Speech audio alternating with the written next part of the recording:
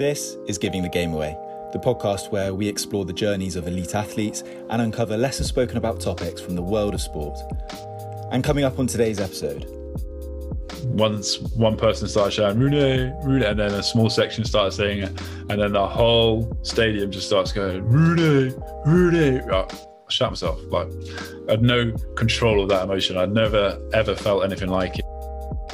We ended up in Usain Bolt's party, and this VIP section that he had was rammed, right? Like hugely rammed.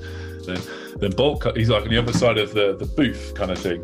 And it's literally probably about three meters across. And all he says, he starts wading across. And he's like, "Really?" and we're just chatting. And that was a cool moment to have, like, over a lot of drink. To be on the podium there was, um, it, it, was a magical feeling. Like, um, my wife had actually given birth maybe three days before that. So I had to come back with a medal you know, I couldn't like miss my son's birth and then come home empty handed. So uh, we had to run hard to get it. Martyn Rooney is who we are hearing from today, a double 400 metre European champion, former captain of Team GB, and someone who's managed to maintain a position at the top of their sport for over 10 years now. He's been to three Olympic Games and he's had pretty unique experiences at each one with doping and with disqualification, so I'm really interested to hear about those experiences today. He's got his own podcast as well called That Greaves and Rooney Sports Podcast, where he's really open about life as an athlete. I'm looking forward to more of that honesty over the course of the next hour. When we spoke to Emily Diamond a few weeks ago, I've really enjoyed hearing about her Olympic experiences and learning all about what comes with an Olympic Games. And that's something I'm looking forward to delving into today because not many people can say they've appeared at three Olympic Games, but Martyn Rooney can. And as Joel says, he has some unique experiences from each of them. He got a bronze at Beijing 2008, eight years after racing, when it was later found out that a member of the Russian relay team had been doping. He then went to home games in 2012 in London and had quite a tough time due to the immense pressure of a home crowd. And then at Rio 2016, he arrived as part of the Team GB relay team, who were one of the favourites, but unfortunately were disqualified in controversial circumstances. They're all really interesting experiences that I'm looking forward to delving into today. And yeah, what Joel says about his honesty is so true. I listen to his podcast and he's always struck me as a really honest athlete who's not afraid of saying his opinion, even if it's sometimes a little bit controversial. And that makes him for a really interesting interview. He's just a really open guy and one of Team GB's biggest characters. It'll be great to hear about his insights on all things athletics from both on and off the track.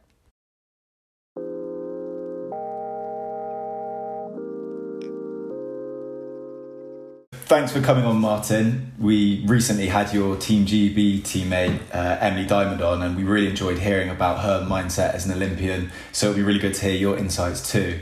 You've been to three Olympic Games yourself, which is a lot more than most people can say. So we're looking forward to delving into those three experiences and all the highs and lows in between. But if we actually take it right back to the beginning, how did you actually get into 400 meter running? Because I think you started off doing longer distances, didn't you? Um, yeah, so I came from a multi-sport background. I played rugby, I played football, cricket. Uh, I did athletics, and I did everything in athletics. Um, obviously, I was a lot better at endurance than I was at jumping, but I did. I tried everything, and um, yeah, I, I, was a good county standard endurance, like 800, 1500 guy. Go to English schools, national level, but never, never go into that next bit. And um, I just kind of stumbled upon the 400. I, after doing 800s and cross country, one lap is easy. And uh, so I just kind of once I found that I was I found it quite easy and I was quite good at it. Uh, I just decided to stick with it, and um, yeah, it's been a, a long time uh, that I've been doing it now. Yeah, nice. And you were part of Croydon Harriers, weren't you, growing up? Which is obviously quite a like well-established athletics club. How important do you think that was when you were coming through? I was very lucky to be at the club. I think uh, Croydon is a hotbed of sporting talent. I think uh, you get a, a big mix of like um, lower income and higher income families and stuff, and so some with massive opportunities. And athletics is kind of a good leveler. So um, for me, it was brilliant. Like I was kind of going there, and there was kids from like private schools that I was training with and competing with, and they'd have all the nice kit and stuff. And but your mentality was I wanted to beat the kids with a good kit. Um, and I had a coach who basically just like made everything fun. He was a bit weird, like still a bit weird. Yeah, he like has a megaphone and he's barking through the megaphone. But as a young kid, that was just kind of fun, and you're like, um, it definitely kept me in the sport. And I think that's what happens if you don't go to the right place and don't get into the right club. You, are not held in the sport long enough. And you don't get the chance to flourish. Yeah, and it seemed to work well because you rose through the ranks pretty quickly. And I'd say it seems like your, your breakthrough was probably uh, in a, around 2005. You uh, were asked to fill in for the, the men's senior team for the 4x400 relay. Mm. And you actually originally only doing the heat, but because you performed so well, they ended up asking you to compete again in the, in the final. So that shows that you were able to sort of seize those big moments and you did and burst into the scene in that high pressurized moment. Yeah, I, I think um, from from being a kid and uh, from my parents and from the school I went to, like we were always encouraged to take the opportunities we're given, um, whatever it might be. And uh, I, that season, 2005, I'd been to the European Junior Championships. Uh, I came second there, and then the relay we won. And basically, I got recommended off of how I'd ran in the relay there uh, to go to the Senior World Champs. And I just took it like I was like, this is just fun. I'm, i was meant to be going to Malia with my mates, um, but I ended up going to Helsinki for the World Champs, and it was uh, it was an amazing experience. And yeah, I ran well. I was it was just one of those things of I didn't go out there to to make the final. I just took every race for me. Every every time I hit the track, it was just a massive opportunity to prove myself. And um, yeah, I was fortunate. I, I, I ran well and managed to get another run out. Unfortunately, we came fourth in a time that was uh, I think he'd have won medals at every Olympics before that. Uh, so it was a tough one to swallow. But for me, everything was just a bonus. It was just amazing to be there um, and to race against your idols and be surrounded in teams with people that I'd watched on TV. It was it was it was a crazy and an amazing experience. Mm. And because that, you had people like Steve Cram obviously speak quite openly about your talent. Do you feel did you feel uh, any pressure because of that at all, or any expectation was put on you? Um, yeah, there was a bit of pressure and expectation, I suppose, when Steve Cram starts touting you as the next Seb Coe or something like that. Um, but I was never uh, like we were for- fortunate. There was no social media really back then. This is a long time ago, guys. Like um, Facebook was kind of very, very new and in its infancy. And to be honest, it wasn't even in the UK at that stage. So the pressure was still very much a little bit from the press and a little bit from the athletics world, but it wasn't any bigger than that. And um, I was very lucky. I went to a group where from there, I moved to Loughborough and um, I was in a group of athletes who were just world class athletes. So you're surrounded by those kind of guys that this is the, the norm, this is the level that you have to reach. And uh, it just became, I didn't really overthink it then. I think uh, my coach was used to dealing with world class athletes and he kind of put me in my place quite quickly. So it was good. I think sometimes that's the benefit of being young as an athlete is you have that naivety sometimes and you, you don't actually overthink stuff too much and that seemed to work for you well and you managed to deal with the pressure well. But also you then went to the Beijing Olympics shortly after, mm-hmm. which is obviously the biggest stage in athletics. Did you feel any pressure then when you were finally on that big stage?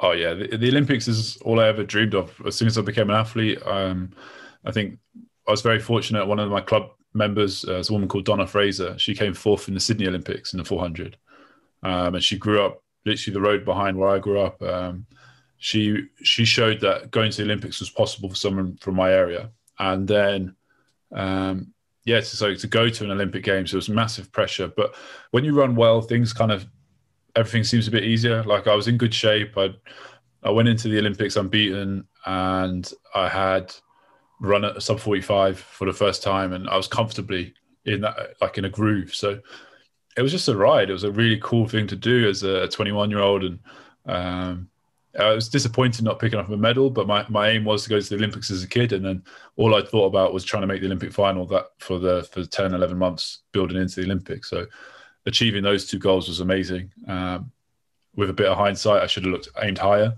but uh, yeah it was uh, a great not a learning curve because if you're ready, you're ready. You don't need to hang about. Like you see people like Mbappe, who's like one of the greatest players ever already. You know, he's only a kid. So um, yeah, it, it, was definitely something that I, I thrived upon, and I, I I puked my guts up before every race, but I loved it.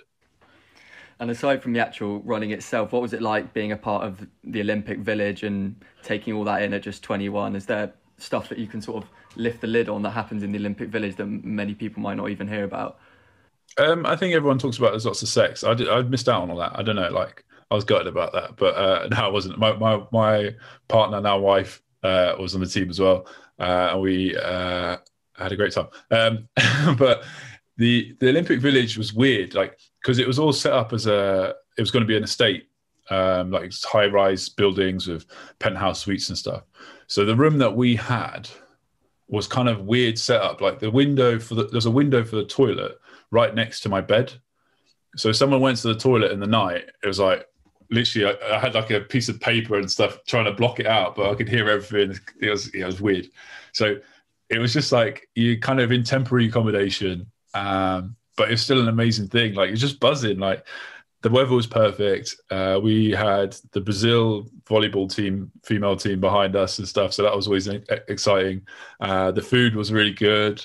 Um, yeah, it was just like, I, I, was lucky those kids my age, or kids, those guys like maybe within my age range at 24. My roommate was like 24 and we were just on cloud nine. We were both running well. And um, it was an amazing experience to be a part of and just an amazing thing to kind of learn how to be out of games as well. Like that nervous energy uh, that people have and that can really mess up the competition. We didn't have it because I think we just took it took it in our stride. We just enjoyed the moment rather than overthinking it. Yeah, we've talked to Olympians before who have spoken about how overwhelming the whole Olympic experience is with everything that comes along with the Games. But it sounds like you just took it in your stride. But yeah, even things like walking around the Olympic Village and seeing the biggest stars in sport people like Usain Bolt and Michael Phelps. It must have been incredible being a part of that whole village experience. Yeah, I, I saw Ronaldinho um, walking through the village once, and he was like literally there was a scrum of footballers around him. So the young under twenty one guys who were probably like superstars later on, but they were kind of protecting him, uh, and that was pretty like oh, it's Ronaldinho. Like, um, and at that age, at twenty one, those things really do like resonate with you. Like I think um, Bolt to me was always like I'd kind of been through the age groups with Bolt, so I, I didn't really I knew he was a superstar, but I didn't really see him like that um, at that stage. And then uh, Michael Phelps, uh, but just to be in that experience as a as a 21 year old, uh, it definitely helped with my development as an athlete. You narrowly missed out on that medal in 2008, which must have been incredibly gutting at the time. But it came out later in 2016 that the Russians were doping and therefore that the bronze was yours. How did it feel achieving something so amazing and something that you'll have for life, but ultimately it's something that you knew you should have had eight years earlier? Um, I think on the day we knew like there's a Russian team that we'd beaten early in the summer by like four seconds. Um, and then all of a sudden they're Olympic medalists running a time that yeah, was ridiculously fast. We ran, we came fourth in a time that should have easily like come second. Really, to not come second or third in that time was was obscene. So um, yeah, we knew at the time. Uh, not, and it's a really negative place to be, and I kind of carried that for a long time. I think the feeling of uh, you get on, you go back to the village, you've come fourth, you're a disappointment. When you go, uh, when you go back on the flight, like all the medalists get upgraded or get nice seats, or whatever, and you're just there like head down, like you just feel shit. If I'm perfectly honest, um, and it kind of carried on. I held on to it for a long time, and then I learned to like I had to let go for it, like a couple of years. Um, and you talk to international athletes, and we were like, "Nah, it's never. You're never going to get that medal. We know you you came third, but you're never going to get that." So when it did come, it was like, wow, like uh, for me, it was like uh, more for my teammates than for me myself because I'd been very fortunate. I'd gone to other championships. I'd won a medal. I'd gone back to Beijing and won a medal there. So I'd had my moment on the podium in the bird's nest, and I was like, "Cool, that's it. I'm, I'm free from it all."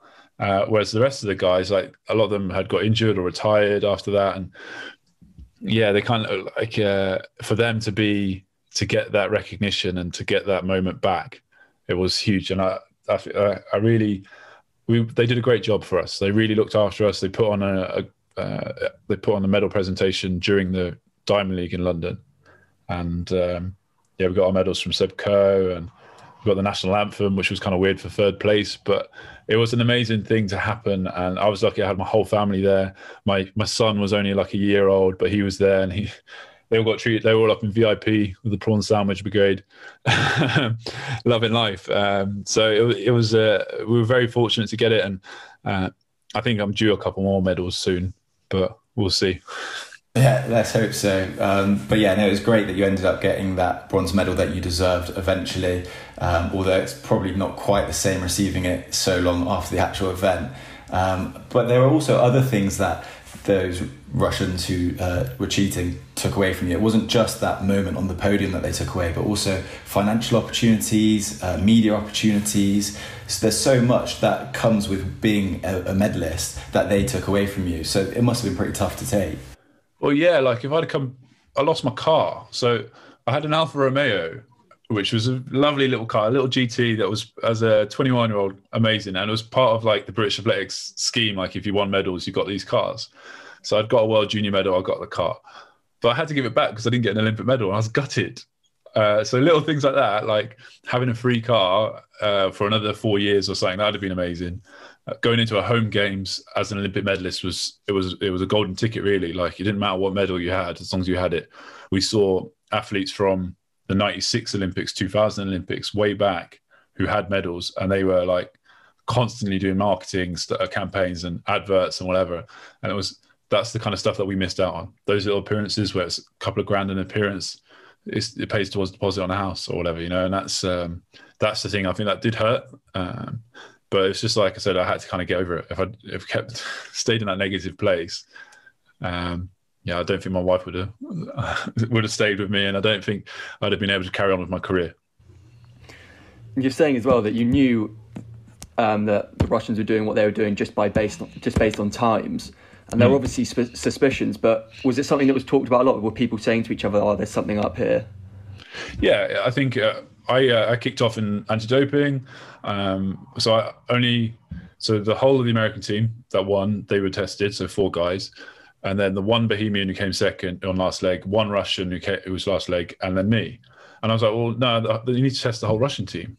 And I said it openly in there, and obviously it doesn't make you very popular when you say stuff like that, and you've just come forth because everyone, then everyone basically totally piss off. But um, none of the guys were quali- had qualified. In, uh, one guy had qualified individually for the Olympic Games. So like for them to run the time that they had, they should have been all like 44 second runners. Then none of the, there's only one guy who was a 45 second runner. So it was really obvious. Um, and I, I, don't actually blame the athletes. I never have. I've always felt like they're just doing what they're told. It's, it's the system that they're in. Um, so I, I, never really blamed them. It was just like the system that they were part of that kind of uh, we all knew was corrupt. There's whispers about it. Yeah, it, it was a shame. Like you kind of you can be bitter about it and hold on to it for a long time. And like I did, like, too long, definitely too long. But once you get over it, you're kind of free from it and you kind of get to enjoy the rest of your career. Yeah, and I guess with athletics, you, you do have to move on because the next event just comes around so quickly. And like before long, it was London 2012, a home Olympics. Mm. That must have been crazy to be a part of that. Yeah, I don't. I don't think anyone really prepared us for that. I don't think I did. I, I uh, physically, I did. I got myself into great shape, um, and but mentally going to that games, it was just no one's ever like. I, I wish I'd have been able to speak to someone like Wayne Rooney or David Beckham or something like that. Just someone who's used to having their name chanted by eighty thousand people. Like um, I, I, I went there at probably about eighty percent. I was I picked up a fairly serious hip injury in the middle of the summer, but you can't miss the home games, so you carry on. And I kind of man, I, I kind of could have scraped through to the final, the shape I was in. Um, but my semi final when. Uh, once one person started shouting Rooney, Rooney, and then a small section started saying it, and then the whole stadium just starts going Rooney, Rooney. I shot myself. Like I had no control of that emotion. I'd never ever felt anything like it, and I went from basically very confident and like, oh, I'm going to go run well to, oh, just don't full start, just don't full start, and. Uh, so it was very tough. Like it was an amazing thing to happen. Uh, I've been for, very fortunate to go to two other home games, uh, championships, but to have a home Olympics and uh, yeah, to be able to go out there and p- perform in front of those people, it's a privilege. Mm, definitely. And was it that feeling of being in the home games and it being quite overwhelming? Was that something that you feel a lot of athletes felt as well? Yeah, I wouldn't say I was on my own with that. I feel like um, a lot of athletes would have gone there, and some people thrived on it. Some people really outperformed themselves, but other people really they went there and it, there were some opportunities that were missed. Uh, I don't think I was the only one who can who came away feeling that way. Um, but it's it's hard to say. Like some people just rise to, rise to the occasion. Uh, a lot of the international guys, when it, they loved having a British athlete in their race, because they knew when they got out there there was going to be noise, like real massive, like eighty thousand people screaming. and they thrived on it. And I, I, I love it whenever if I go to Brussels and I'm racing against the the Borlée brothers, the crowd goes mad, and I'm like, yes, that's it. And I can see their face going, oh, this is different. This is a hard feeling, but like I thrive on it. But when it was for you and it's literally on you, it's it's um, at that stage of my career, I wasn't ready for it. I was obviously 2017. Uh, I thrived on it a bit in the relay, but uh, yeah, it was a it was a different feeling at 2012. A, that's a crazy insight because I think you assume as a fan that if you're chanting for an athlete, that's going to boost their performance, but actually you're saying it hinders it. That, that's like really fascinating to hear. I think I think if I was prepared for it, then I'd been pumped. I'd have been, this is it. This is this is my house. This is my stadium. But at that stage of my career now, I just I just didn't know how to handle it. And uh, like I said, if I'd spoken to Wayne Rooney, he gets it every time he scores. You know, like goes to Old Trafford, seventy thousand people shouting his name. It's kind of like normal for him. And uh, I could have maybe had some tech tactics or techniques of how to block it out or how to just use it to my advantage. And um, yeah, so it was, it was a shame. Like it was, it's a, it was a great occasion just to be part of, to have family, friends there, and um, people that you just from your area, people that you, you knew growing up, just being there, somehow getting tickets wherever it took. You know, that was pretty cool. Mm. And obviously, after the Olympics, there's you're going to have to deal with it mentally, maybe a few weeks after. But what was the initial sort of blowout like after the Olympics? I've heard you speak on your podcast about you know being out with people like Usain Bolt and stuff like that. yeah, I got smashed. I did two days on the trot. It was brilliant, um, and it's nice because like you go to London and like uh, you find out going out in London, it's just expensive. But when you were part, you had your games pass. It seemed to be a lot cheaper. you got a lot of free drinks, and um, you go to the most exclusive clubs in London, and you're just there. It's like it was cool. Like I, we went to uh, one night. I went out. It was um, we ended up in Usain Bolt's party, and this VIP section that he had was rammed, right? Like hugely rammed. Too many people in it. Uh, so I stayed on the outside of it, and uh, then like uh, Bolt's manager calls me in. I, would known him, Ricky, for a long time. He calls me over and he gets me a drink or whatever. And then, then Bolt, he's like on the other side of the, the booth kind of thing. And it's literally probably about three meters across. And all he says, he starts wading across. And he's like, Rudy. and we're just chatting. But then the best thing about it is we talk about Rudisha. We're talking about David Rudisha. Like he's the greatest Olympian ever. Usain Bolt, like double, triple gold champion and he's talking about Rudisha and how amazing his run was. And I was like, oh, you're just a fan. You're just a dude. Like, I, I, I don't know. It just made me realize like, how much he loved the sport. And that was a cool moment to have like over a lot of drink. But yeah, it was cool. Yeah, that must be a really special moment because I guess as an athlete, you are so constantly focusing on being really uh, strict with your diet and your training, and very rarely do you get a chance to sort of let your hair down and, and have drinks. So to be able to do that with the likes of Usain Bolt must just be a great celebration after a, a good home games. Yeah, it was cool. I think uh, that my favorite moment was like when I got back to the village and uh, it was sun was coming up, and I think it was a hockey team uh, of like Dutch girls. I'm there trying to take this picture of this statue, or whatever, and I end up on my back, like literally, like you know, like how a beetle would fall back or something. my legs are just in the air. the whole team's walking past me like this drunk idiot.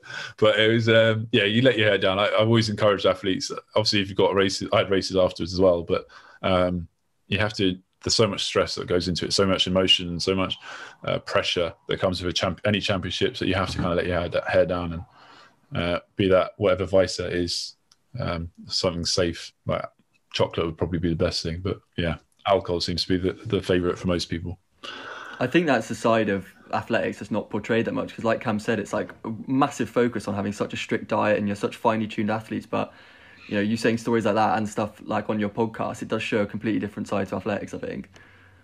Yeah, I think on the podcast, myself and Dan, um, we uh, we've both come at it from a quite a balanced. We're both very focused athletes. Like he's won every Paralympic medal he can win, um, and he's I think he, we both understand like well, how important it is just to under, like let yourself go, let yourself relax, let yourself kind of that pent up stress and all that thing. It's it's not it's not healthy. Um, so you have to kind of let your hair down, and um, because we don't drink regularly, it doesn't really take much either. To be honest, There's a couple of drinks and most people are gone. Um, so uh, most athletes are done in. So it's a yeah, it's still a cheap night. Yeah, uh, I think that's what's great about your podcast is it gives an insight into athletes that you don't regularly get to hear. Like, I mean, as a fan or as a spectator, all you ever see of a, an athlete is really a, a 30 second post race interview when they've just run a 400 meter race and they're out of breath and like don't have time to really think about what's going on. So like to be able to sit them down for an hour and have a conversation about their career, it gives a really nice insight that you don't mm. always get. Thank you very much. I think yeah, it's kind of the long form media thing where you just kind of get to chat to people and have a, a normal conversation rather than like if I come off the track and I've got my glasses on and sweating and people just don't know my face, they literally know the glasses and that's it and a beard.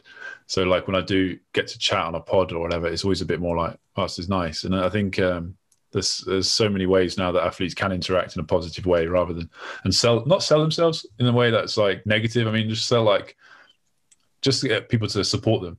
Like you want people to be able to go, oh, I like Emily, like you had Emily on your pod as well, and like I like listening to what she had to say. Now I'm going to follow her career, and hopefully that means like she gets more publicity and whatever. And I think that's what um, we're trying to do is just make sure like kind of speak to athletes who have good stories and have a lot to share, and then hopefully they've got a good bit of character, good laugh to be around. So I think that's what podcast offers a lot of people. Mm, I think that's right, and I think I was scrolling on your Instagram before doing this interview now, and we were, you, I saw you say that like during COVID, you were getting a bit sick of basically seeing on TV all these montages of athletics events and stuff. And I think things like the podcast will get people into the sport a bit more because it just shows a different side to it.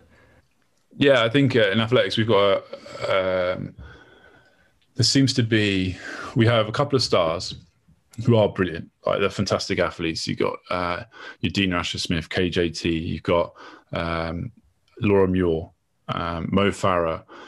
But then, like, what the BBC will always do is show videos of Colin Jackson in 1990, whatever, or uh, Steve Backley throwing. And, like, I don't really think that they want to show off themselves anymore. You know, I think they kind of like passed it. I know, like, people like you and Thomas would be like, he gets sick of it. He's just like, all right, just let's just show these current crop and try and promote them and bring them up. Um, so, like, that time, like, I think with the podcast, you kind of get to speak to more athletes. And get to hear more of their story rather than the same ones that are always thrown at you every time. And those guys have earned everything. They they work hard, they train hard, they they can perform at the top level, so they earn the right to be the focal point of the sport. But I think then we forget that we do a sport with I think it's like twenty like how many events is there?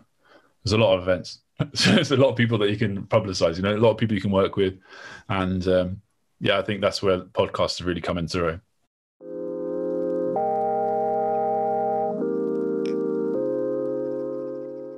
If we go back to your career, so you had the 2012 Olympics, which we just touched on. Uh, another big event that came shortly after was the World Championships in 2015. Um, mm. w- went back to Beijing and, and got the bronze finally on, on top of the podium. Did that feel a little bit uh, like closure for you? Yeah, 100%. To be on the podium there was. Um, it, it was a magical feeling. Like um, my wife had actually given birth uh, to maybe three days before then, and uh, so I had to come back with a medal.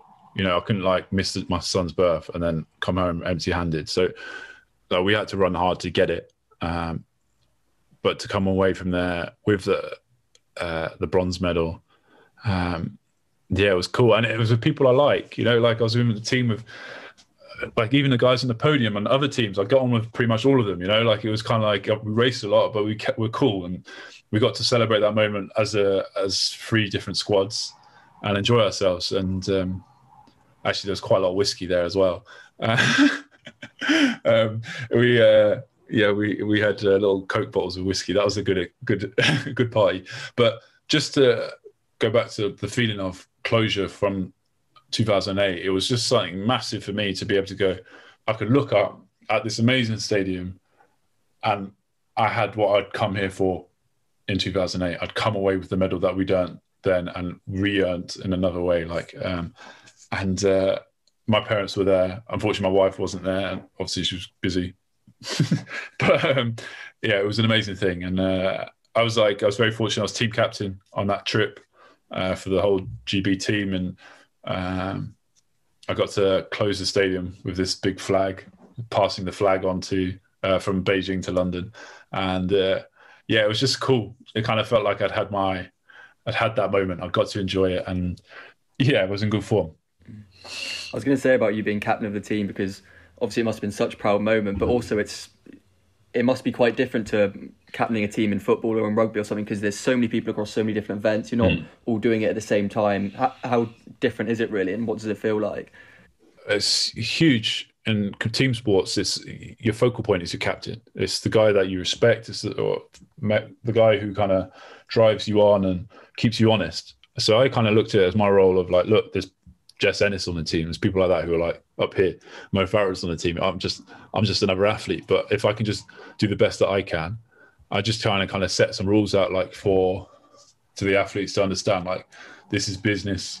Um, it's not here to to have you ha- you can enjoy yourself, but make sure you're here to perform at the top of your level. No excuses. Go on that track and give everything you've got, and um, try to be a good teammate try not to mess up anybody else's championships. If you finish early, don't be a dickhead. Um, and that was pretty much my thing. It was quite simple. Uh, and then my role was to go and perform to my best of my ability. And uh, in the heats, I ran a PB. I didn't make the final, but I think I kind of was done in from my heat run.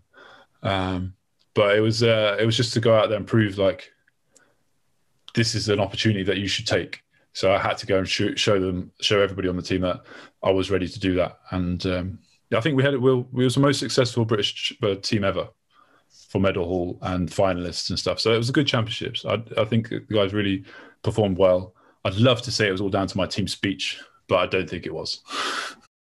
Yeah, that's definitely not a bad thing to have in your CV. Captain of Team GB's most successful ever side.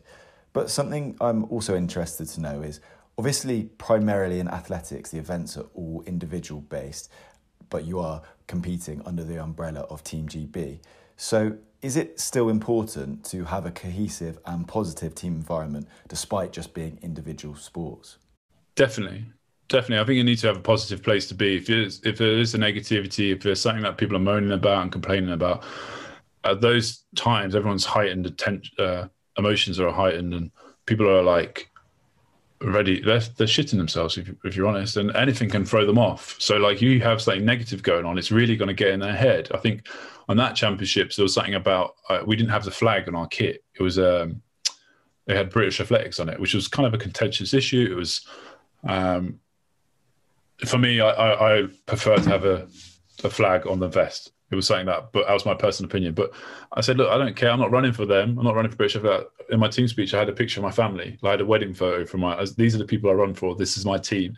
I got a bit emotional because obviously I was thinking about my wife and stuff and birth and all that. And it was kind of like, this is who I'm here for. So don't worry about what's going on here. Don't care about all the BS that's going on around the scenes and all the press asking you questions about it. It's just don't worry about that. Just focus on yourself and your competition and the people that you are here for.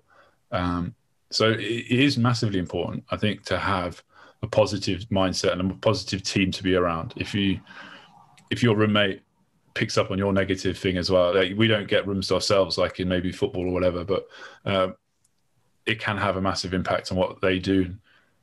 If you go out, say you're finished at the start of the championships and your tr- teammate is not to the end, it kind of you don't want to piss up piss them off. You don't want to mess up their championships. This is this is the, the pinnacle of their career for that year. So don't mess about with it. You came off the back of that World Championships. You're feeling good. You went to Rio. You won the heat, and you all ran a time that would have put you in perfect position for a medal in the final. Then you were belatedly told that you'd been disqualified for a violation that happened in the changeover. After all that hard work leading up to that moment, for something like that to then happen and for your aspirations to be sort of taken away from you in an instant, it must have been incredibly difficult to deal with. And I'm just wondering how you coped with that.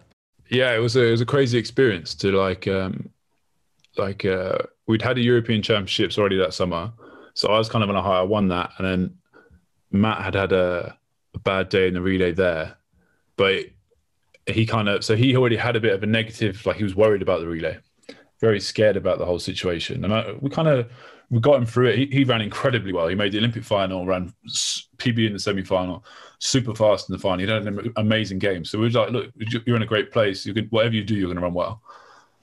And he did. Like he did run well, but the rule was that he uh, he was adjourned to have um, to have broken was that he steps on the line for the exchange zone. So in the four x four, we've got a box. It's about twenty meters long, um, wide or whatever, and he was basically bouncing on the line before he ran. And what happened was we ran, we won our heat, and then we were disqualified, and another team was disqualified, and um, Brazil went from being not qualified for the final, which was the last event of the games, to qualifying for the final of the Olympic Games. And I was like, I'm perfectly honest. I said, "Fuck off!" Like I was going through all the media, and I was like, "No, this is bullshit. Like they can't have that. Like they've cheated. They've cheated us out of it, and there's no video evidence. It's always done on. So like you go to other sports, it's all like um, you have to prove you're you're innocent until proven guilty. In athletics, you're proven guilty. You're guilty until proven innocent. And we couldn't get any video footage of it. Couldn't get anything. It was just a track judge's decision. Um, so yeah, I was fuming. I, I didn't handle myself well at all going through the mix zone. Uh, but I felt like it was on me to like because I knew I'd done nothing wrong. I was I was safe. Like everywhere, um, I was on it. The only thing I thought like might happen is we were pretty close an exchange between myself and Kevin Borlée. So I asked him. He was like, "No, no, it was nothing to do with me." and then we found out it was Matt afterwards, and I was like, I was fuming. I was also fuming at the BBC because they were burying us. Uh, so I went up into the studio and kind of had like uh, I went up and defended our team and I felt like the BBC should have been backing us rather than they were on the attack really. So it was a it was a weird experience. Yeah, I came away with a negative thing of it, and uh, it was a shame. I think uh, we had a good chance of maybe. I think it's still a reach to say we could have won it in the final. We but we did run very very well in the heat, and we had probably had another second to give. So I kind of felt like first or second was there to be had that must have been gutting knowing that you had such a good chance of, of getting a first or second and then it got snatched away and like it, it wasn't even your fault but i guess that's part of the relay isn't it mistakes like that can happen you can see people dropping the hmm. baton all the time and it's yeah. just one of those things but do, does that sort of stress you out sometimes when you're running in a relay that you you could make a mistake that's going to cost your whole team I, I love that pressure like I, I was a terrible team teammate as a kid um, when I played football or rugby or whatever, if someone made a mistake, I was on them. Um, I was that annoying, skinny little kid who was just ranting at everyone. So, um, but I've learned to curb that and make that kind of uh, one of my strengths in athletics. Like I kind of, I love the pressure that I'm running for my team. I'm running for my boys, and and I get the most out of myself. And it's not just my boys now. We have a mixed relay, which is an incredible thing, and I, I love that kind of responsibility that's put on my shoulders if I go last leg. Um, it's kind of a like for Matt, like uh, he didn't, in my opinion, he didn't do anything wrong. And now the rules changed that he wouldn't be D- DQ'd now; he'd be absolutely fine. Like uh, I thought, uh, one of the Bahrainian guys basically walked around me in Doha in 2019. So I was like, "Oh, cool, he's DQ'd. That's him done." We came fourth. I was like, "Right, go over, get him DQ'd." No, not how you want to win a medal, but I was like, "Well, we're kind of safe." Um, and then they said no, they changed the rule after that after that champion after the 2016 Olympics. So um, it is it can be scary. I think in the four x one, it's definitely a bigger thing. Like obviously the changeovers are far more intricate, and um, you need to be on. This, if it's a split second too early or too late, that's your medal gone. So um, there's definitely more in the four x one than the four x four. But um, I think uh, the biggest thing in the four x four is you want everyone to just commit. I want them to be on it. I want them to go there and be able to run 110%. I want them to be all the cliches that you can think of, but you know, I, I, I want the most out of them that they can give me. And uh, sometimes we've had that and we won medals. When we haven't won medals, it's because someone maybe hasn't been able to give what they, they should be able to give. Mm. And individually, after your race as well, you obviously said that classic line of "I just ran like a dick." Yeah. And that obviously must have filled with a lot of disappointment, a lot of frustration after that race. But how uh, quickly were you able after the games? You obviously said you didn't enjoy Rio that much. How quickly were you able to get over that frustration and disappointment moving forward? Um, well, yeah, in the games, like I, I messed up my heat. I was, I'd won the Europeans and I'd found some form going into the championships. Um, and I, I, basically went into my heat too cocky. I was already thinking about my semi-final. I was already thinking about how where I need to be in this race to make sure I get a good lane in the semi-final, rather than just beat the guys because I had good guys in my race. Um, and uh, yeah, I just ran way too slow down the back straight, and it was completely my mistake. It was no, nothing else. My coach, my coach got me into perfect shape. Um, everything was set up for me to go and run well, and it was my fault. So that's the hardest thing in athletics, I think, to know that you've done everything in your power to get it right, and then you mess it up on your own on the day. So that's always going to take a long time for any athlete to get over. Uh, and especially at the stage of my career where I was thinking, like, am I going to get to go to another games?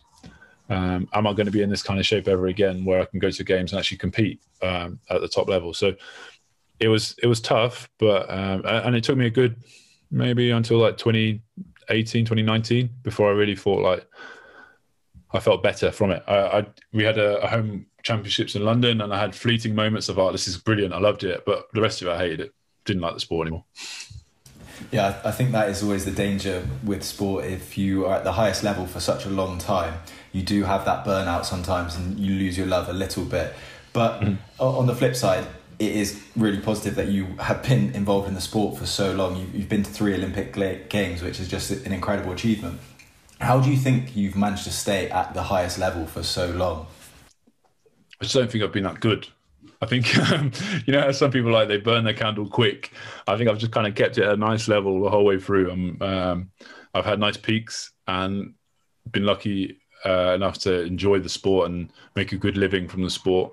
Um, but there's definitely, I don't know. I think it's my desire, my stubbornness, and the fact that I love the sport. I love the training. I love the feeling of going through that pain barrier and just keep going. Uh, it's something I thrive on. So um, when I retire from this, I'll probably do CrossFit and break my back or something like that. But um, no, I, I, it's just I think I'm stubborn. I think um, I'm not willing to give up on it. I'm not willing to stop until I know that I've kind of hit the end. And I thought I was close to it, uh, but I think this COVID uh, the the season we had off. Like it's the first season I've had off since I was 18 years old, or probably younger. Uh, it's really helped me, and I, I, feel quite fresh now. I feel like I'm instead of 33 years old, I'm probably feeling like in my mid 20s. So um, hopefully, I can get another couple of championships out. With COVID, it seems to be something that we've found is that obviously there's been uncertainty due to COVID with Tokyo, and there's people not sure what's going to happen there. But it's also seemed like a nice break for a lot of athletes, and they've also almost come back a bit rejuvenated.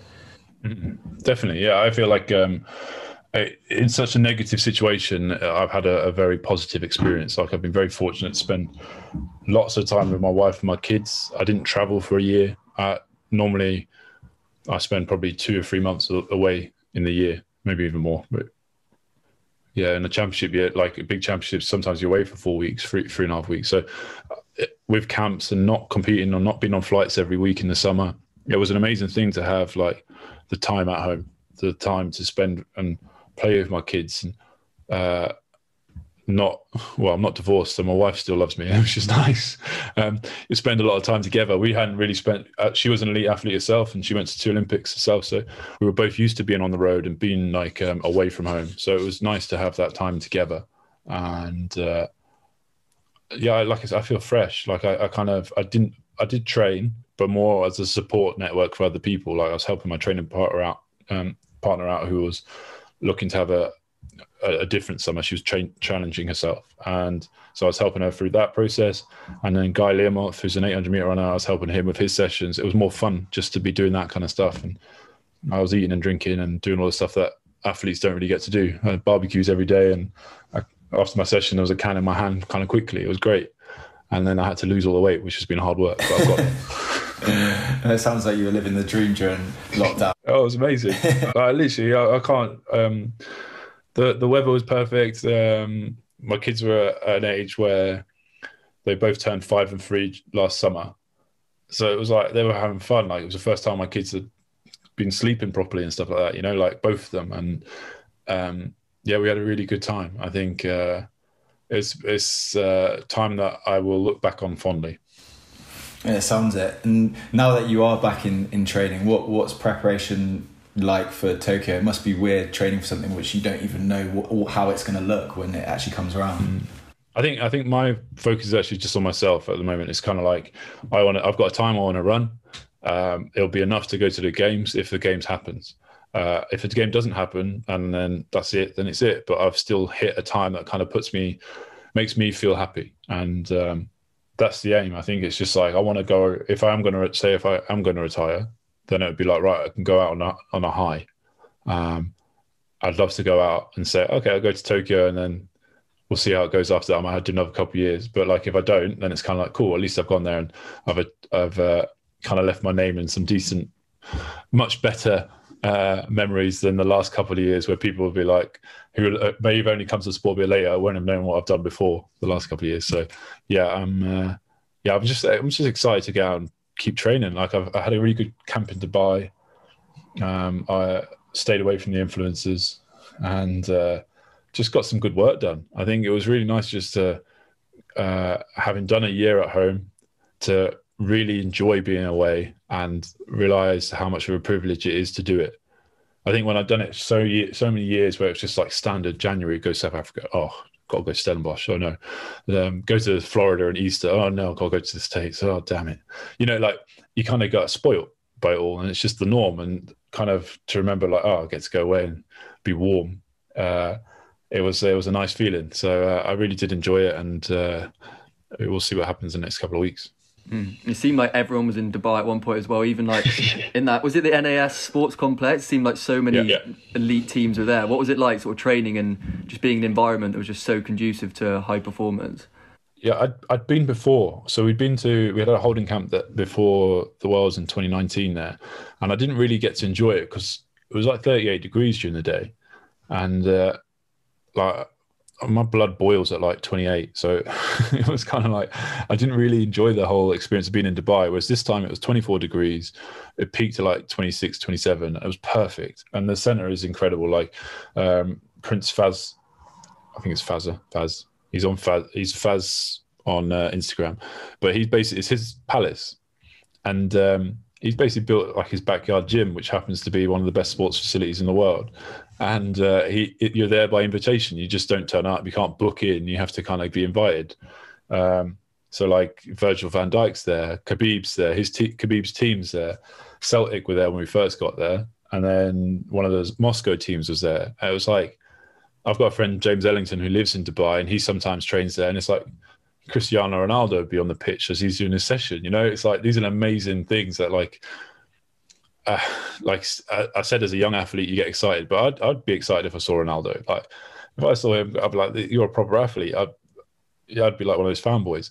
But um, it's uh, it's an amazing centre. Uh, I'm very privileged to be this. Nad Al Sheba, I think its full title is, and um, yeah, it's uh, we're very lucky. Like obviously, a lot of British athletes. So Emily was there, and um, uh, yeah, I think we just kind of a couple of us really understood how lucky we were to be there. I think a couple of young guys aren't there yet, maybe because they're still, everything's so new and they just expect it to be the same way for the rest of their careers. Um, but I think once you've had it taken away from you and you remember how good it is when you go back, it was a yeah, we just really all trained well and enjoyed the environment. No, that sounds great, and I'm very envious that you managed to get away because I haven't been away for a while. So just moving forward, what are your ambitions for after athletics? You've, you've mentioned retirement. What you've obviously got a podcast, so you, maybe there's media work, but you've also talked about how you like uh, you liked your, uh, being a captain and, and coaching your training partners. So coaching could be an angle. So what, what are you thinking about when you retire? Um, I think um, for me, I definitely want to stay involved in like relay teams and management of that. I think uh, I've got a lot of experience and a lot of knowledge to offer there, and um, that's something that uh, it, whether it's enough that's going to pay, pay, the bills, you know, pay the mortgage, and that's a different different question. I think uh, I don't know really. Like it's one of those things that everyone says, "Oh, you have to have a plan," but every time I plan, I'm like, "Well, I might as well retire now." and I've done it. I've done it every couple of years. I'll be like, right, I need to get this set. I need to have a plan, and then all I want to do is stop because I'm like, well, I need to focus on this plan. Um, and I'm not. My mind doesn't work that way. It's literally my mind's now split between my training, my family, and that's it. Like that's all I have the capacity to to really be effective at.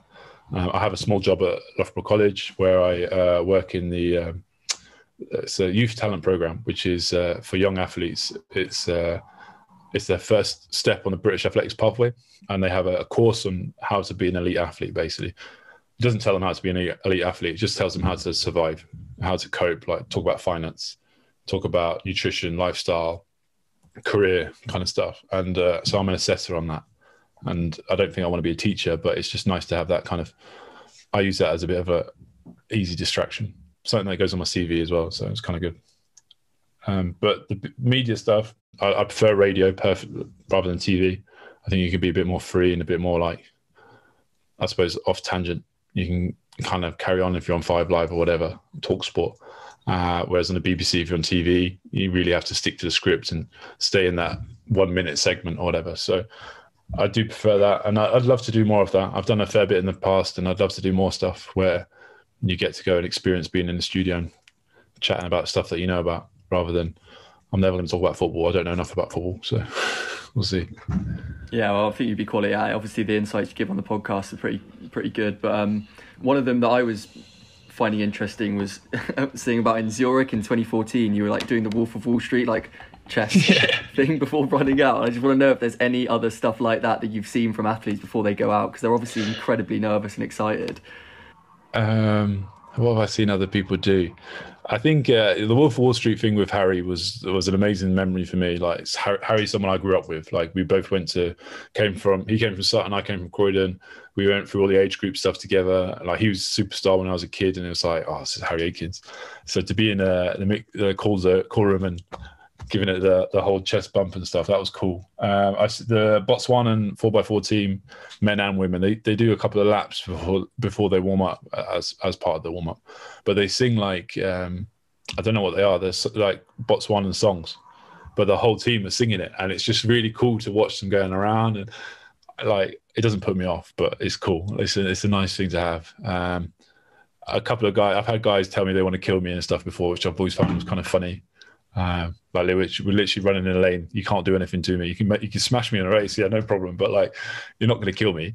Um, so uh, yeah, you get loads of shit chat. But uh, my my best, I suppose, my best moment as well is uh, myself and Oscar Pistorius and Kevin Borlée in London 2012 before the final. We were in a little cubicle. It was like all the third and fourth leg runners are squashed in this cubicle, and there's a TV going on. It was like doing like um, kind of some weird like Pilates thing. I don't know what was on, but some weird kind of like yoga Pilates stretching session. So I get down in the middle of the floor. I'm like, guys, this is how you do a hamstring stretch. And I start taking the piss. So Oscar gets down, he starts doing another stretch. And then Kevin Borlée's like, yeah, yeah. So you can see all these people's faces go, what the fuck's going on? What's going on? They're literally like, uh, are we taking the piss? Are we serious? I was like, we're literally just having a laugh. The three of us got it. We got that. Uh, for us to be do well on the track, we had to be relaxed in that small section, and then once we got out there, we could be more more switched on and more focused. But um, those are good moments. So good things I'll always remember and, and cherish. Uh, that's fascinating. It does seem like athletes have loads of different ways of getting themselves prepared for a race, and uh, for you, it was having a joke and a laugh. Same for Usain Bolt; he's always messing about on the start start line. Didn't you also um, in Beijing? Didn't didn't the whole team whistle the Great Escape or something? Oh yeah, so um, we're in uh, 2008, way back. We were in the call room, and uh, one of the guys, Andrew Steele, uh, great human.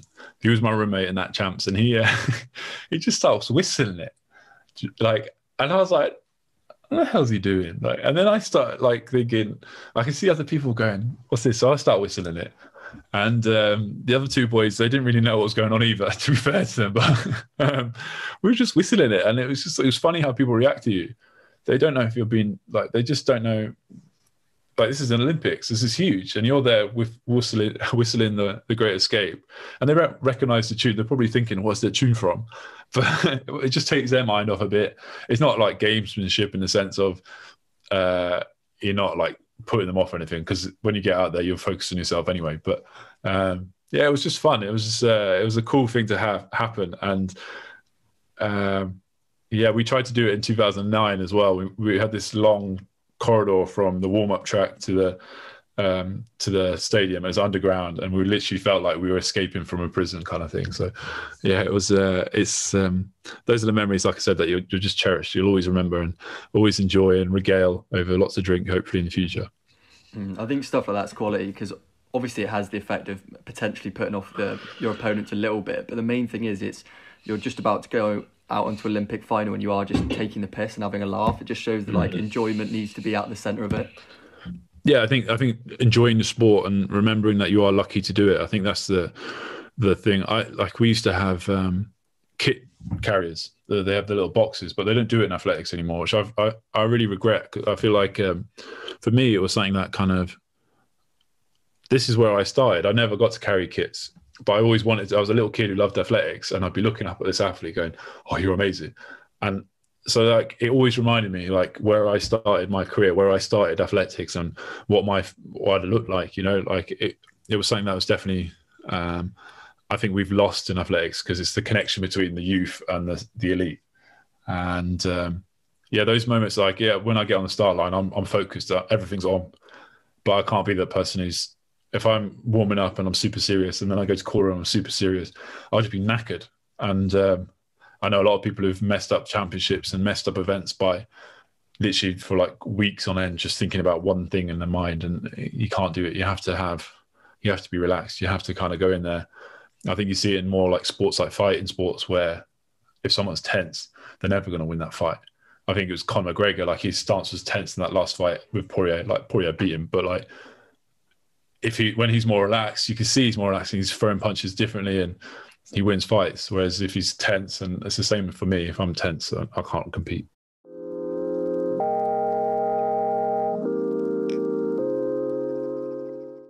Thanks so much for uh, for doing that and giving up your time. Really enjoyed that. Cam, Joel, that was really good. Uh, thank you very much for your time. There's some good questions in there, so I really enjoyed that. Oh, I really appreciate that, Martyn. And cool. Be- best of luck oh, with, with all your Tokyo training. Cheers, boys. Bye bye.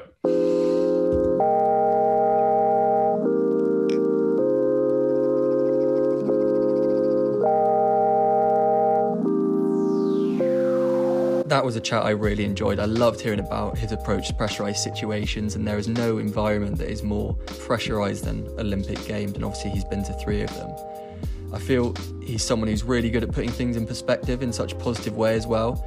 He was saying that he knows he's privileged to do athletics for a living, and so he tried to let go of the things that didn't go his way. And then more recently in lockdown, he's enjoyed spending time with his family, and it's allowed him to feel really revitalized going forward. Overall, I just rate his honesty. He's a funny guy who's honest about areas like the future of athletics and anti doping, and it's really nice to hear from a modern athlete. I really enjoyed chatting to Martyn today and hearing about his journey because, like he said, often the only glimpse of athletes you get is a two minute interview at the end of a match or at the end of a race. So it's always nice to hear their stories in such detail like that. And his story is such an interesting one.